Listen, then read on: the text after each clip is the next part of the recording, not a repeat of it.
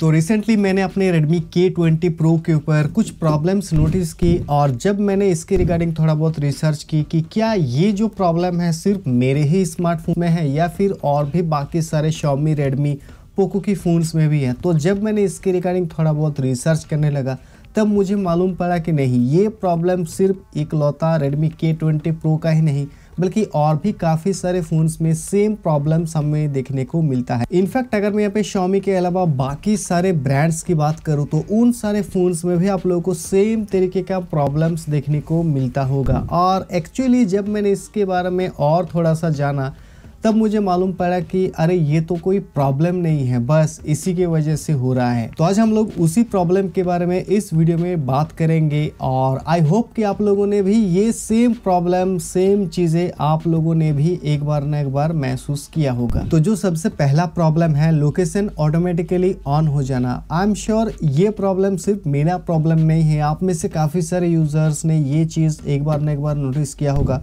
अगर आप लोकेशन को एनेबल नहीं भी करते हैं, तब भी वो कभी कभार ऑन हो जाता है कभी कभार ऑटोमेटिकली ऑफ़ भी हो जाता है। तो इसके पीछे जो मेन रीजन है, वो है एंड्रॉयड 11 अभी मैं आप लोगों को एक्सप्लेन करता हूँ एंड्रॉयड 11 के पीछे ये रीजन क्यों है। सबसे पहले तो जब एंड्रॉयड 11 की अगर मैं पहले एंड्रॉयड वर्जन की बात करूँ, चाहे एंड्रॉयड 10 हो गया 9 हो गया 8 हो गया तो अगर आप सपोज़ कोई भी ऐसा एप्लीकेशन यूज़ कर रहे हो जिसमें लोकेशन का परमिशन पूछ रहा था तो अगर आपने एक बार लोकेशन दे दी और उसके बाद चाहे आप उस एप्लीकेशन से बाहर भी आ जाओ, उस एप्लीकेशन को आप स्टॉप भी कर दो, तब भी आपका जो लोकेशन है वो हमेशा के लिए ऑन रहता था। लेकिन एंड्रॉयड 11 की अपडेट आने के बाद ये चीज़ एकदम से चेंज हो गया। इनफैक्ट लोकेशन नहीं, बल्कि और भी काफ़ी सारे से परमिशन है जो कि प्राइवेसी के रिलेटेड है।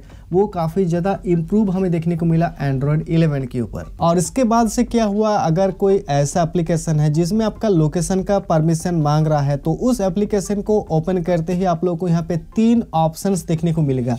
आप या तो हमेशा के लिए ऑन रखो, यानी कि जिस टाइम आप इस एप्लीकेशन को यूज़ करो, या सिर्फ़ अभी के लिए, यानी कि जब इस समय आप इस एप्लीकेशन को यूज़ कर रहे हो। सिर्फ़ इसी वक्त आप लोकेशन का परमिशन दो। इसके बाद अगर इस एप्लीकेशन को आप फिर से ओपन करोगे, तब आपको दोबारा से ये चीज़ पूछा जाएगा। या फिर डिराई मतलब अगर आप लोकेशन का परमिशन नहीं देना चाहते हो तो अगर आपने कोई ऐसा एप्लीकेशन ओपन किया और अगर आपने ये परमिशन दे दी कि जब मैं इस एप्लीकेशन को ओपन करूँगा, तभी लोकेशन का परमिशन ऑन रहेगा।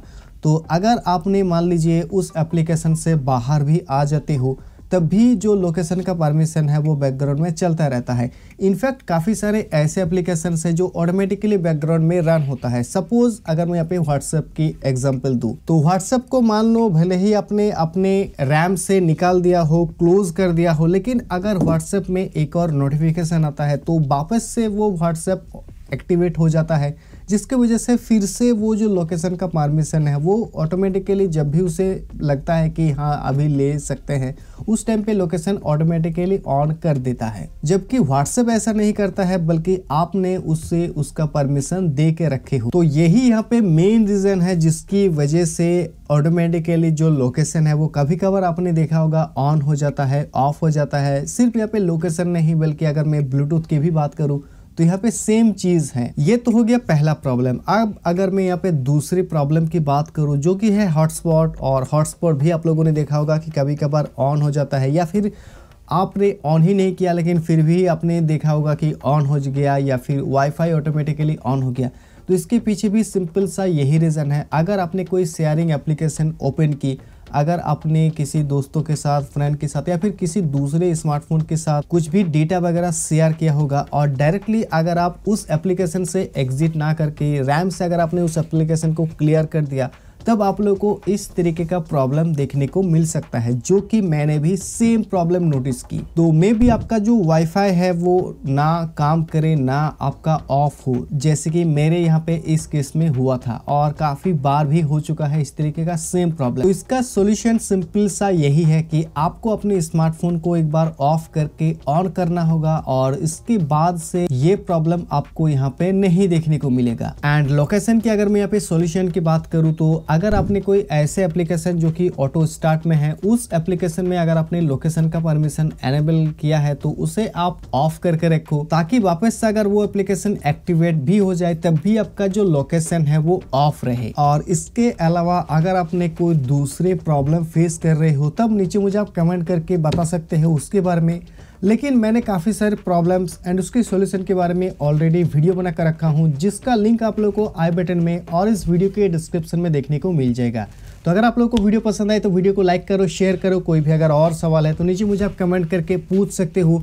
और ऐसे ही इंटरेस्टिंग वीडियोस आगे देखने के लिए चैनल को सब्सक्राइब करने के साथ साथ बेल आइकन नोटिफिकेशन को प्रेस करना मत भूलिएगा।